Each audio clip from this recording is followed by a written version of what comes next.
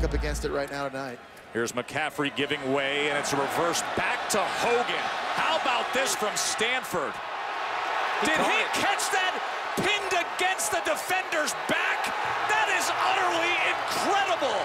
Who is the guy from Alabama? Prothro. Pro throw. That's exactly what I thought.